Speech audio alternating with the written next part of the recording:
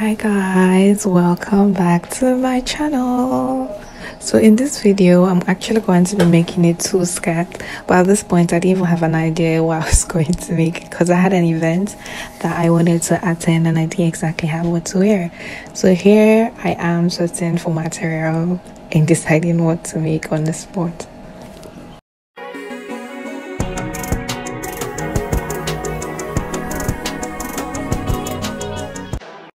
I finally went ahead to get the pink tulle and it looks so cute and pretty. I got it in two shades of pink like light pink and hot pink. What you need is the tulle, the lining that you need on the inside of your skirt, the elastic band, your measuring tape, your scissors to cut obviously. Right now I'm measuring out the tulle in order to determine how I can cut it equally.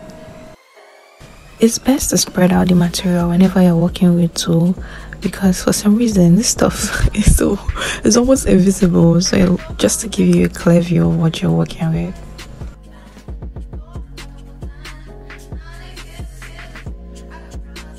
I moved it to the table now that I have a clear picture of what I'm working with. I resolved to divide the material by 9 inches so I'm going to be cutting out the first template of 9 inches which I would use to cut the other parts of the material. I'm going to be teaching you two ways of making a tulle skirt. You have the 5 minutes sharp sharp last minute kind of skirt and you have the most sophisticated one.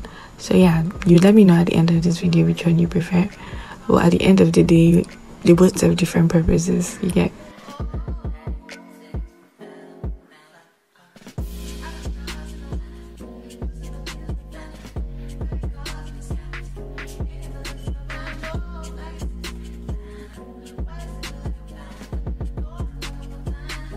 Due to the way I folded the tulle, towards the end there was a little bit that was left and that little bit because the tulle was folded in half once you open up that little bit it actually gives you a full length like the other ones this was the exact reason why I measured my material before I started cutting because hmm, I'm not about to be wasting any material over here.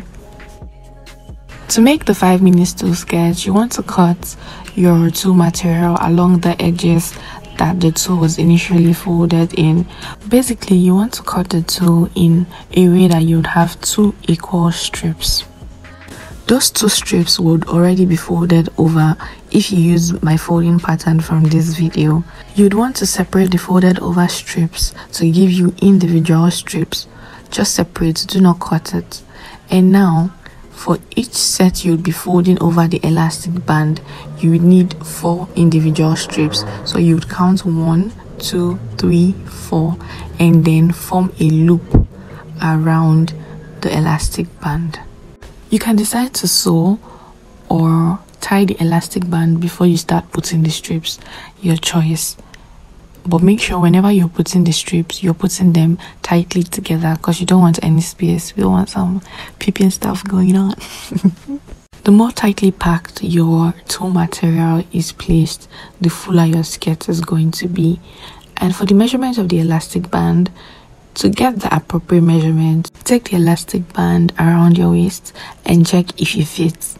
If it fits just right, like directly on your waist without you having to stretch it, then you would need to take out a little out of it because you want the elastic band to actually serve its purpose and not just sit on your waist. Because if you do that over time the elastic band is going to stretch out and then your skirt might not be your exact size any longer so you want the elastic band to be a little smaller than your waist. For the amount of yards of tulle material that you would need for this skirt it really depends on what you're going for. If you're going for a transparent-ish kind of um well i say like a beach throw on look yeah then you'd want to use um less material. Five yards would be enough but if you'd want a really full skirt, the least you should be thinking of is nine, seven yards. Seven yards should work. Seven to nine yards should be enough. Anywhere in between, depending on the fullness of the skirt. This is what your skirt should look like once you're done. I know you can see like the top part is not looking all that. Yeah, but that's why we have the belt. The belt is gonna do the job to hide it properly. But yeah, you get what you get by putting five minutes into it. So most times you could just use a belt to cover up the top and you're good to go. You look take away, you look sumptuous and yeah, someone would never know that you made this get under five minutes. How would they know? Yeah, I didn't adjust it properly because I wasn't looking at a mirror. But trust me, when you do it in your house and you adjust it properly, you look chef's kiss. For the second way to make the tulle skirts, this time I will be making a tiered skirt. At first I was going to make a triple layer skirt, like a three tier skirt with different colors like light pink, hot pink and deep pink. But at the end of the day I actually ended up leaving out the deep pink. Just to note, you can also use the same color for the tiers or the layers, it doesn't matter but I just wanted to add some oomph to my skirt. Right now I'm threading the machine after using pins to secure the two material.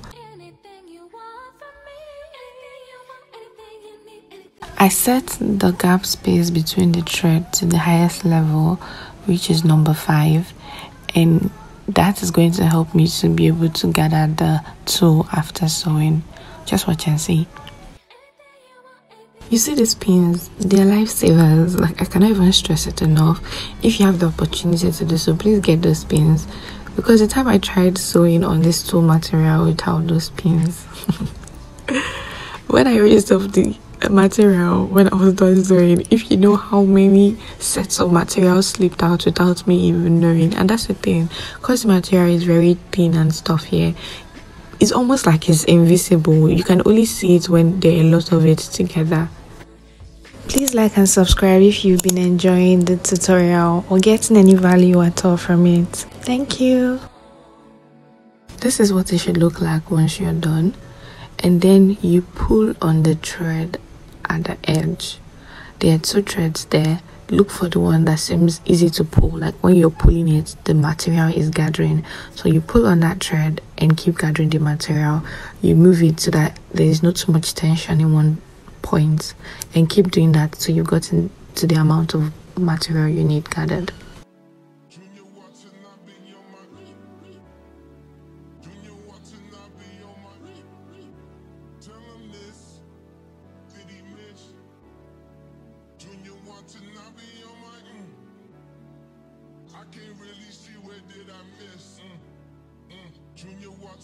This situation, you can see that the length of this material is definitely longer than 9 inches.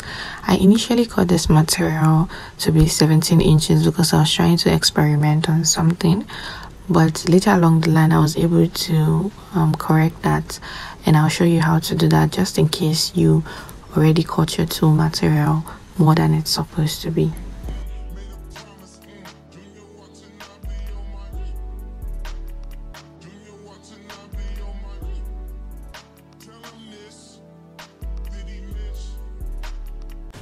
Once you're done gathering the material, tie a temporary knot at the edge. You don't want to tie the knot and cut the thread just in case you'd want to expand your gathered length later on. Another thing is you don't want to pull the thread for too long to get gathered length because the more you pull the thread, it might get to some points the thread will get so much resistance and cut so what i do is i gather in sections so once i gather in one section i go to the center piece use my needle and pull a thread from there and keep pulling from there and it's gathering in the center tie another knot there as well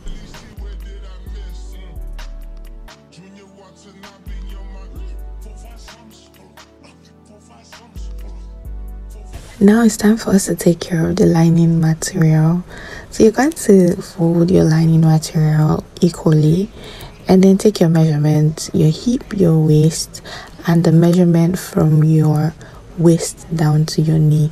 Very important. For your waist and hip measurement, you're going to be adding 4 inches to it. After adding the 4 to it, you divide the total number by 4 in order to get the radius you are going to use for your waist. So basically you have the circumference of your waist that's round your waist. Now you're trying to get one quarter of that round your waist if that makes sense. So i got 10.5 as my radius and i'm going to be marking 10.5 on my material as well as 11.5 that's going to be giving seam allowance for when I'll be joining the pieces together. For the length of the skirt, it's a little different. You measure the length, I got 23, you subtract 2 because the two skirts, you don't want your inner lining to be bulging out from underneath your skirt. So you want it to be 2 inches shorter. Then you add 1 inch to it to save as seam allowance. So I got 23, I subtracted 2, I got 21, and then I added an extra one and I had 22. So now I'm marking out 21 and 22 on my material. I also measured the length from my waist to my hips, which I'm going to be identifying now so that I can mark out the radius of my hips. Use the same method as the waist to get the radius of the hips. Add 1.5 to the radius of the hips to get the radius of the bottom of the skirt. Please always remember to add 1 inch for seam allowance. Now I'll be joining the points together and that will give me the outline of my lining. When you finally get the outline of your skirt, it might look big but please don't mess with those measurements because all of this calculation and mathematics we've been doing is not for fancy even if it looks big to you, do not slim fit it. It's a trap, oh, it's a trap. If you fall for it, all your hard work will just go down the drain. The reason the extra measurements are there is for the fact that when you be sewing your gather tulle on the material, the thread is going to shrink the material a little. It's going to shrink this your lining a little. And you don't want to use your exact measurements because when it shrinks it's going to be smaller than your size. So you might end up making skirts for somebody else. That's if you have someone you can give this skirt to. But obviously if you're going through all this hard work you're doing it because you want to use it or maybe you're using it for someone else as a gift or something. So you don't want to get a small size for the person so yeah. This is my final outline. I'm going to be opening up. And here you can see that i have two pieces of the material because i folded my lining in four places. So now i'm going to be dividing two pieces right by the area there to give my front and back section now i'm hemming the edges and i would also be sewing the seam allowance as well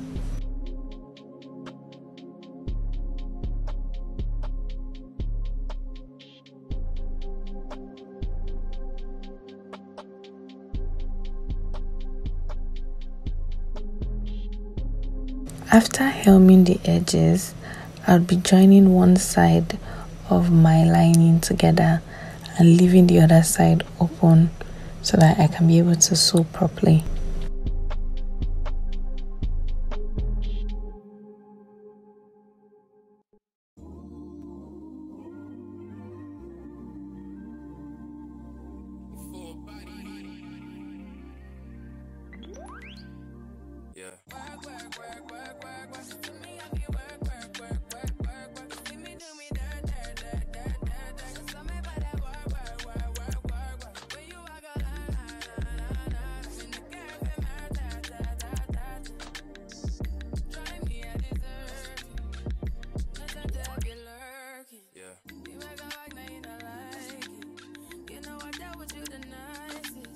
Remember I said earlier on that I was going to be showing you how to rectify a mistake?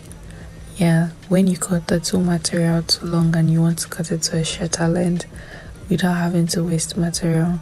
So here I have 17 inches and if I'm to divide it into two equal lengths, it's going to give me 8.5 each. And my other material that I measured is actually 9 inches so I don't want to lose any material from here because this material is already losing on half inch on both sides. What I decided to do is draw a line in between that shows the middle of the material and then I go in with my tool and sew just beneath that line. So you can see the line on the right side and you can see I'm sewing just by the left side. Why I'm doing that is because I want the two material to be together when I am about to cut it.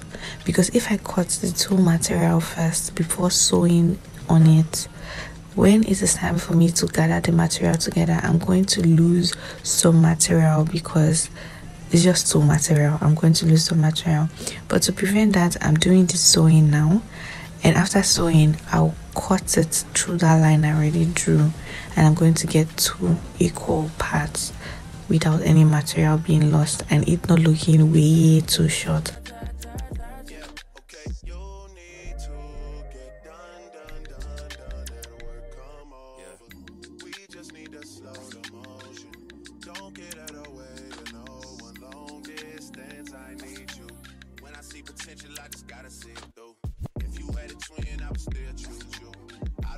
Only now that I'm done cutting the tulle, will I go ahead and gather it.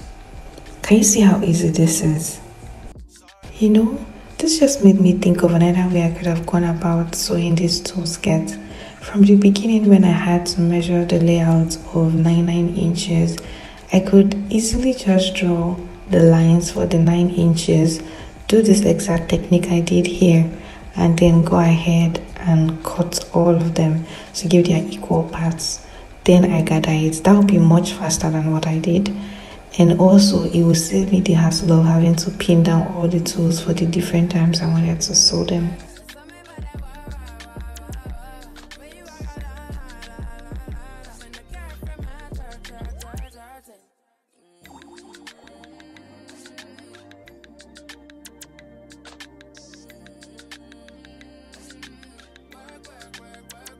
Here, I placed my lining in the proper frame so as to help me map out the position that my elastic is going to lay in.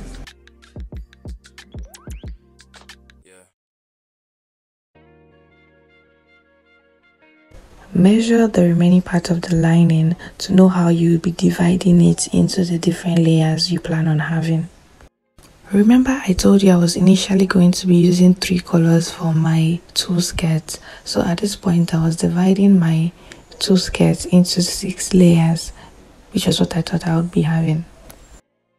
When trying to get the positions for your layers, the first position is always the point where the elastic is going to lay. That line that you see just there already drawn is the position of the first layer, then every other layer comes after. Then the next layer you would want to figure out is the last layer. What you're going to do is the length of your tulle that is the length you measured and cut all your tulle into.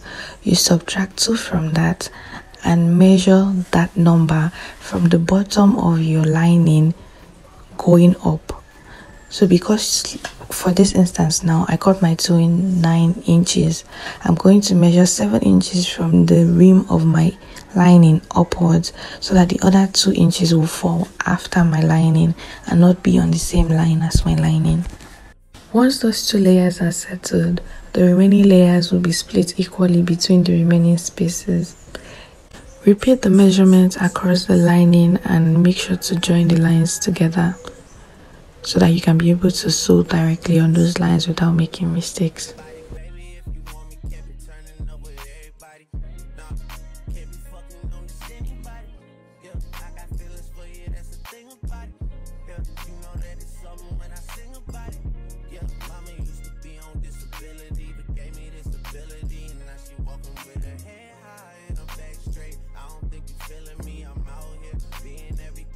Flip it and do the same to the other side.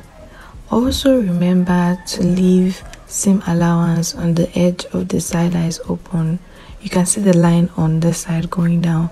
It's also there on the other side of the cloth. Now I'm placing the gather tulle on the different lines to give myself an idea of how the tulle is going to fall when they are finally sewn on.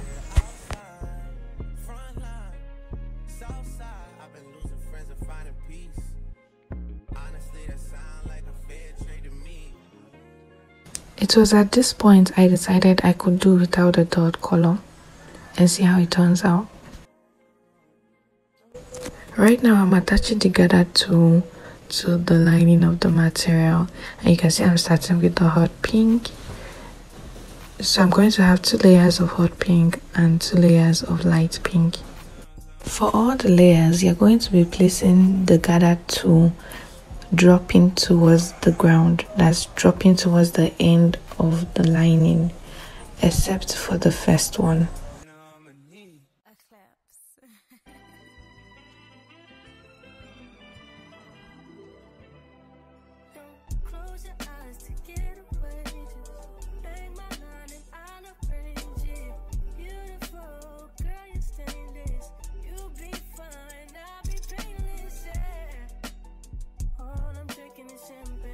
Getting to the sides, you want that side to be puffier. You want it to have some bounce to it. So you're going to put the ending of the tulle and fold it underneath.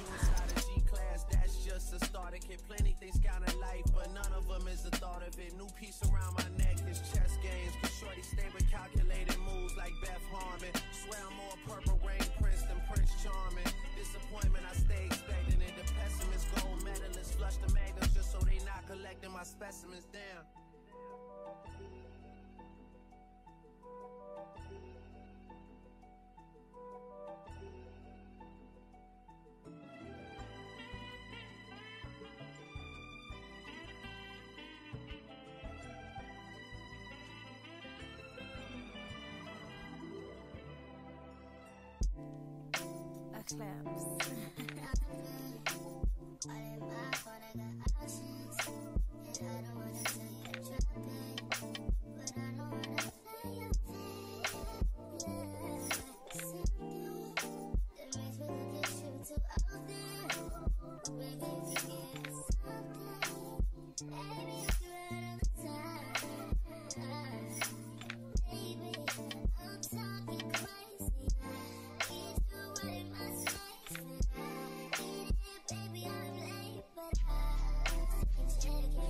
Now it's time to sew the first layer and you notice that I am not sewing it in the same direction as the other layers. Instead, I'm flipping it in the opposite direction so that by the time I am done sewing and I flip it over to the right direction, you won't see the thread. So it's just going to look very seamless. If you're having a hard time with the tulle material, you can see that I keep using the scissors to tame it. So whenever it's trying to misbehave, use the scissors and bend it down. Yeah, you must stay there. That way the tulle remains flat and the sewing machine can easily pass through it without giving you much hassle.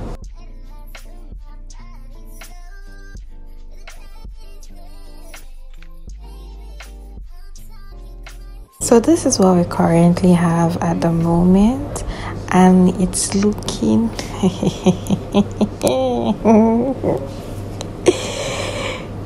those of you that understand this left figure what I'm trying to say. Now I'm trying to get the ends together in order to close up the edge that I left open earlier on since I am done sewing the tulle on the lining.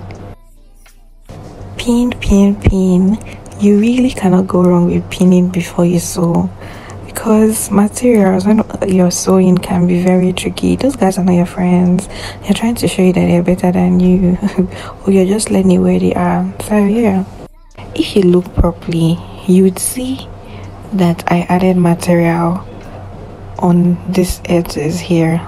Like there's a small material that was added on both sides. You know that trap i told you earlier on? Yeah to avoid. That trap fell into it yo i fell into that trap. I thought my lining was too big and i decided to slim fit it. Guess what? I finished sewing my whole skirt to the end only to try it. Hey. This thing was small and so tight like i wasn't making it for myself. Then, with a face of shame and my tail in between my legs, I loosened the entire tail that was attached to the lining and went back so attach that same material that I cut out to go back to my initial measurements. And this is where we are now. If I say this skirt do not frustrate me I'm lying. Because I was so pissed when that happened. If I had just left it alone I would have not been in that situation which is why I am telling you people again do not fall for that trap. For my first sewing project from scratch I think I'm allowed to make mistakes but you are not allowed to make any mistake after watching this video. Yeah because i'm giving you all the tips and tricks giving you the calculations you need to get it right. Please don't fall my hand now it's time to attach the elastic band. I am measuring the length of the waist at the moment and you can see it's 23 23 multiplied by 2 will give you 46 which is the circumference of the material already sewn now. So now we're going to be measuring the length of my elastic. I got two inches multiplied by two that is four plus one inch allowance that is five so i'm going to be measuring out five inches on my new material that i'm going to use to overlap the elastic band Right now, since the material is folded, I am measuring 24 inches. That is the 23 inches initially measured plus 1 inch for seam allowance.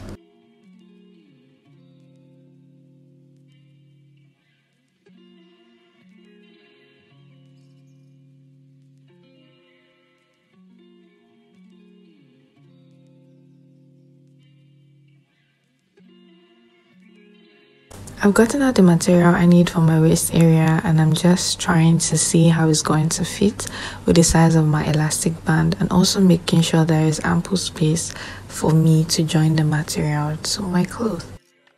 Now I'm joining the edges of the waist material in order to give a circular shape which I will end up joining to the remaining material of the tulle skirt.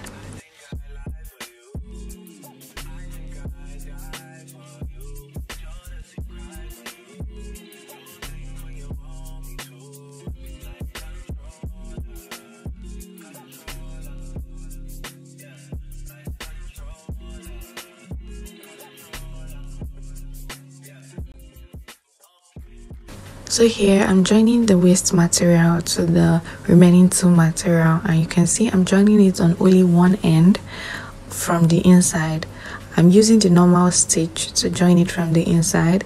And then once i'm done with that I will also be joining the other end of the material from the outside. But I will be using the zigzag stitch in order to give it a pretty finish after I'm done closing up both ends, I'm now putting in my elastic band through a hole that I left open on the inside of the skirt. So when you're closing up, you're not going to close up entirely the inside, the stitch on the inside.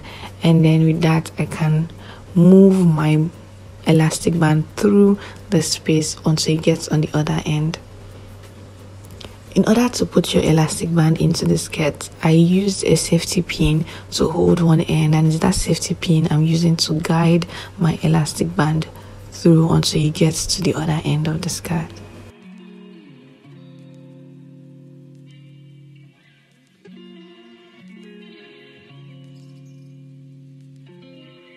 Now I'm closing up the elastic band in a square shape just to give it a little more firmness then I tuck it in and do the final sewing on top.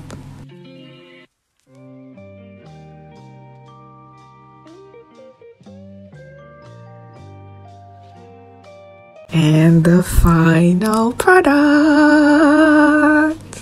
Please tell me this skirt is not appealing to your eyes. Like, just look at this. Just look at this. Take a good look at this you trust i'm going to be trying it on for you and here. This is what it looks like. Just a little something something. Something a little extra is that this skirt is very versatile. You could also wear it as a top. You can see me styling it here as a top. And this is like for those like the conservative look. If you'd also want to go for more oomph you can also style it this way as well thank you so much for watching this video to the end and please don't forget to like this video like subscribe if this is your first time see you in the next video Click to view. Keep watching.